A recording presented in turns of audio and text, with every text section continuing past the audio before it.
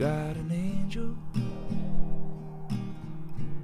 She doesn't wear any wings.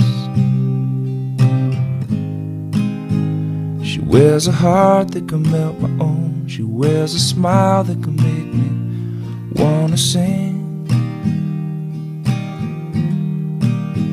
She gives me presents